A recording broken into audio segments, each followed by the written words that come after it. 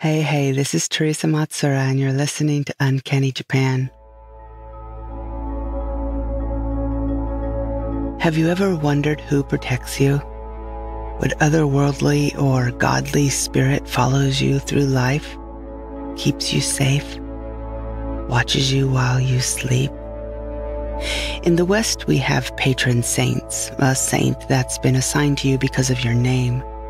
Or I just learned if you happen to have a name or names that don't have a saint ascribed to them, it's your birthday, because every day of the year is the feast of at least one saint. Voila, your patron saint. But what about Japan? Is there a patron Buddha? About 25 years ago, I was sitting at the dinner table with my in laws and my mother in law pulled out this very complicated looking diagram. She ran her finger down it and said, Terry, let's find out who your protecting God is. I said, sure. So today, let's find out who your protecting Buddhist deity is. We all have one, and it doesn't matter what kind of name you have at all. Would you like to explore the stranger, more obscure corners of Japanese culture? Dig a little deeper into superstitions, curious customs, and all those mysterious creatures that inhabit the land? If so, then this is the podcast for you. Uncanny Japan is where I, author Thersa Matsuura, share all the fascinating tidbits I unearth while doing research for my writing from the bizarre to the ghastly, and everything in between. I hope you enjoy the show. Hey, hey, how are you? Doing well? As well as can be expected? Yeah, me too. So today I'm going to talk about who is protecting you on the Buddhist side of things. A little about that deity's character and how to identify it if, let's say, you come across a statue at a temple, or you want to buy a small effigy of it, or I don't know, maybe it shows up in your dreams or something. In a good way, not a creepy way. Buddhists don't do that. The method I'm using of finding your protecting God is the one I've seen used everywhere. So I think I can safely say that it's the most common. I'm not saying there isn't another one out there, just I didn't find it. This one kept popping up, and it's the one my mother in law used, so it's gotta be right. Let me start by telling you a Japanese saying. Umare tsuki hotoke sama to goen ga musubarete. We are all born with a connection to the Buddha. But there isn't just one Buddha. Well, there is that one Buddha, Siddhartha Gautama, the one you're thinking about right now but there are also quite a few different other types of Buddhas, or gods, or protecting gods. And every one of us is born and assigned to one of them to guide us, protect us, and to help us throughout our lives. Which is very nice. And lucky for us, the deity isn't assigned by name. So instead of names, they match up with our Eto, or animal zodiac. Do you remember which animal you are? That's okay if you don't. I'll run through the years before each one, just in case you forgot. Something to note is that there are different kinds of Buddhist deities and statues. In general, there's a bosatsu and a nyorai. You might know bosatsu as bodhisattva if you're studying Buddhism, an almost enlightened being the reason they aren't enlightened isn't because they can't, but it's because they chose to keep a single or a couple attachments, so they don't go into full enlightenment yet. They can remain nearby and help as many people as possible to reach their own nirvana, which is also very nice. Kannon, or Kuan Yin in Chinese, is a bosatsu, bodhisattva. The second one is a nyorai, which is a being who is a version of a Buddha after attaining full enlightenment. In general, a bosatsu will be dressed more fancily, and the nyorai is usually more austere, dressed in simple robes. But there's also a myo. Myo aren't manifestations of the Buddha at all, but minor gods who live in heaven. You can more easily see the Hindu influence in their image. They're protectors of Buddhism and they look fierce. They have weapons and all over just wicked cool. But for all intents and purposes, it doesn't matter if you have a Bosatsu, Nyorai, or Myo as your patron Buddhist saint. They all care about you personally. So let's go through the animal zodiac one at a time, and let me introduce you to your God. Number one, the year of the rat people. Raise your hands. Were you born in the year 1948, 1960, 1972, 1984, 1996, or 2008? Or 2020, actually? Well, congratulations. Your guardian Buddha is Senju Kannon Bosatsu, or the 1,000 armed Kannon. She's the statue you see with all the arms fanning out at her sides, obviously.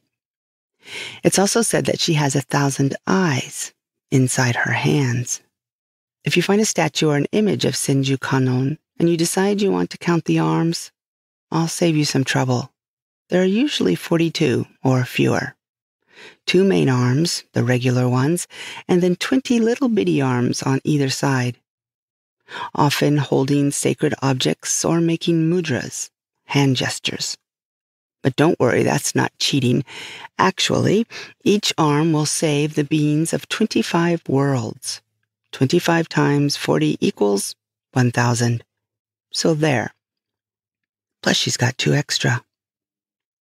But in earlier images of Senju Kannon, like the ones in Toshodaiji in Nara and Fujiidera in Osaka, they actually did try to get to 1,000 arms.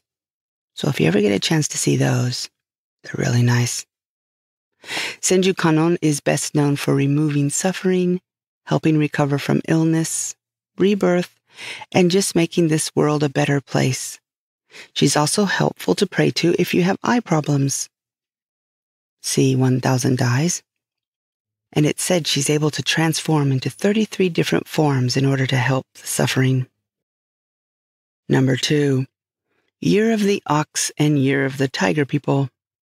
You guys are teamed together. Oxes are 1941, 1961, 1973, 1985, 1997, 2009, and 2021.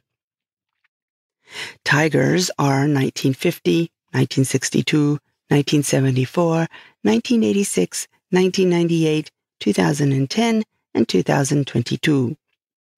Congratulations, Kokuzo Bosatsu is watching over you. Kokuzo Bosatsu could literally be translated as space repository or sky repository because his wisdom is as boundless as the sky. But let's instead use the less weird name of Bodhisattva of Wisdom and Memory. This Bosatsu is special to Shingon Buddhism, an esoteric sect that I personally quite love. He can appear in different Buddha looking forms. You might find him holding a wish granting jewel or a lotus stem that has the wish granting jewel on top. Other times, he even has a sword. Your Kokuzo Bosatsu can help you improve your grades or bestow intelligence. Improves your memory, clears your head, makes for a prosperous business, and overall just improving your skills. Kokuzo is also worshipped as the patron of craftspeople and artisans. Number three, rabbit people. I'm looking at you now. Were you born in the years 1939, 1951, 1963, 1975, 1987, 1999, or 2011? Then yay! You get to be watched over by Monju Bosatsu. If you thought Kokuzo was smart, Monju is thought to be the smartest of all the Bosatsu and is approached when you want to gain clarity of wisdom and academic achievement. And if you want to be a good calligrapher. He was also one of the original disciples of the Buddha, and therefore can be found represented in artwork from India, Nepal, Tibet, China, and of course Japan. In Japan, to identify an image of Monju Bosatsu, you might find him sitting on a roaring lion or a shishi, where in one hand he'll wield the Sutra of Wisdom, in the other he holds a sharp sword. He uses the sword to cut through illusion and to bring light into an unenlightened mind. And if you think he wasn't awesome enough, in Zen, it is Monju Bosatsu who is the deity of the meditation hall. And in the Tendai sect, he is the deity of the kitchen and the dining halls. There is an old saying, Sannin yoreba, Monju no chie. If three people come together, the wisdom of Monju. My guess is that's a better way of saying three minds are better than one. Number four, bring me the dragon and snake people. You seem kind of related, right? Dragons and snakes. So you get to be your own reptilian group. Real quick, dragons are 1940, 1952, 1964, 1976, 1988, 2000, and 2012. Snakes are 1941, 1953, 1965, 1977, 1989, 2001, and 2013. You, my serpentine friends, are represented by Fugen Bosatsu. Fugen is the Bosatsu of universal goodness, virtue, and worthiness. He teaches that action and conduct are equally important. Fugen is also the patron of women. In Japan's Heian era, women of the court adopted a type of Buddhism that concentrated on the Lotus Sutra, because that is the sutra that cares about the salvation of women. Fugen appears in this sutra, which led naturally to him becoming a protector of women. Fugen also knows Monju. Actually, they both studied under the original Buddha, and if you ever see a picture of Buddha with two disciples on either side, one is Monju, the other is Fugen. Where Monju is all about wisdom and enlightenment, Fugen has taken up the mantle of meditation and practice. You can recognize your God because he just might be riding an elephant with his hands pressed together in prayer. That elephant might be white and it might have six tusks. Those six tusks represent overcoming your attachments to the six senses. Or sometimes he forgoes the elephant and just sits on a lotus petal. Number five, horse people, please stand up. Not that you were sitting down because horses are usually standing, right? If you were born in the years 1942, 1954, 1966, 1978, 1990, 2002, and 2014, that's you. And your protector deity is Seishi Bosatsu. Seishi, like the others, began in India, but didn't really hit it off there.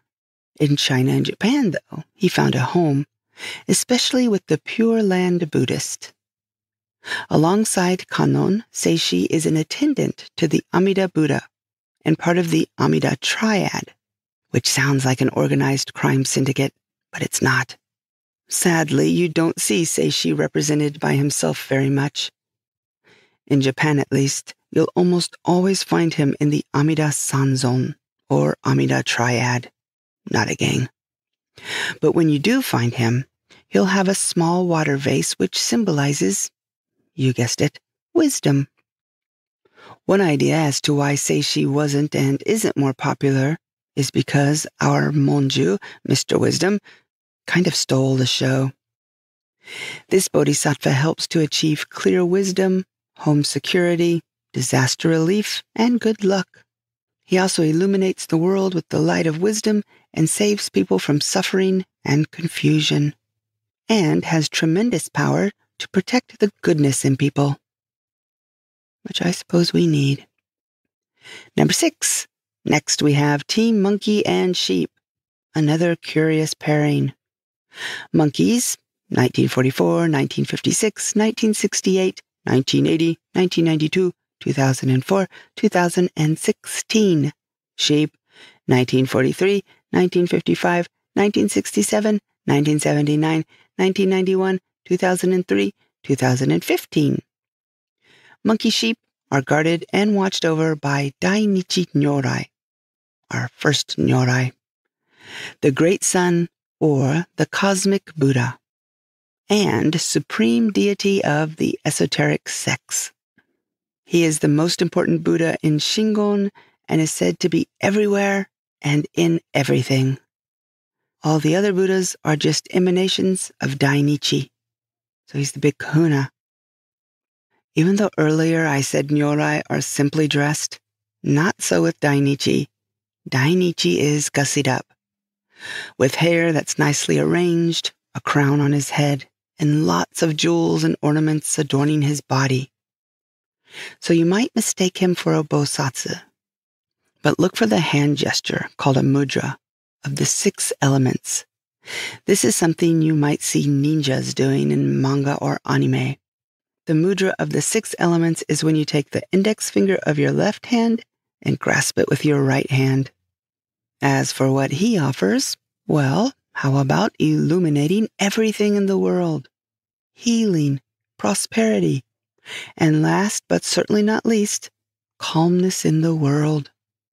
A neat bit of trivia Dainichi Nyorai has been worshipped from as early as the late 700s in the Heian era. But before that, he was called Birushana. Birushana is from the Sanskrit word Vairocana. That version of Dainichi was made into a giant statue in 752 in Nara. And it's the largest bronze statue in the world, which is, you probably guessed it, the big Buddha of Nara the Nara Dai Butsu. So if you've ever been there or seen pictures of it, and you happen to be Team Monkey or Team Sheep, he's watching out for you. And me too, because I'm a monkey. Number seven. Next, chicken people, come gather around. Were you born in the years 1945, 1957, 1969, 1981, 1993, 2005, or 2017? You lucky fowl are under the stern gaze of Fudo Myo. Personally, I am more than a tad drawn to this fellow recently. Where up until now we've had peaceful, serene faced Bosatsu and Nyorai, now we've got the wrathful, brawny Fudomyo. Interestingly, Fudomyo is said to be a personification of Dainichi, but again, in another place, I read that it was Dainichi's messenger. I don't know. Fudomyo means the immovable one. And boy, is he tough. Angry, scowling face aside, he's carrying a devil subduing sword that can cut through ignorance in one hand and a rope to tie up demons in the other. Often you see him with a third eye, too. And look for the fangs. One will point up, the other will point down. He'll also be surrounded by flames. So, what can he help you with? Well, besides moving obstacles, he gives blessings from disasters, victories in battle, driving away demons, protecting those who are training in the Buddhist tradition, and he'll bring you money. Don't let the angry face fool you. He just wants to cut away the evil and guide you who are suffering from worldly desires to the path of Buddhism, turning anger into salvation for a thousand years. And eight, and lastly, we have our dog and wild boar people. You have arrived. Dogs are those who are born in 1946, 1958, 1970, 1982, 1994, 2000, 2018. And wild boars, 1947, 1959, 1971, 1983, 1995, 2007, 2019. Remember that triad of Amida, Kannon, and Seishi on either side of the Amida Buddha or Amida Nyorai? Well, you puppies and piggies get Amida himself, the big guy, the biggest guy actually, not Dainichi Nyorai, who I mentioned earlier, is on top of the esoteric traditions. But Amida is just top overall. For example, to Pure Land Buddhist, the Jodoshu, Amida has beaten out the real historical Buddha as most popular. Speaking of most popular, remember that the Pure Land Buddhists are the most popular in Japan today? Interestingly, Buddhism wasn't for the regular people for a very long time. Remember when I talked about court women in the Heian era worshipping Fugen? That was the court women. It wasn't until Jodo Shu, Pure Land Buddhism, that suddenly the faith became accessible. No more fancy, complicated rituals and all that hubbub. Two monks, Honen and Shinran, taught that all you need to do was to chant the name of Amida Buddha with all of your heart, and you too could be reborn into the Buddhist paradise. That prayer is, by the way, Namu Amida Butsu. So just repeating Namu Amida Butsu, Namu Amida Butsu, which is kind of hard, will get you there. The big Buddha in Kamakura is this one, Amida. But also, he's in a whole lot of other places and in a whole lot of different forms. But one way to spot him is the meditation mudra, the hands in his lap with his thumbs touching and his fingers too. It's kind of complicated to explain. Just look at the Kamakura Buddha. He's doing it.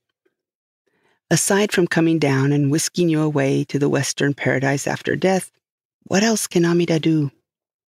Well, Amida is very gentle and all accepting.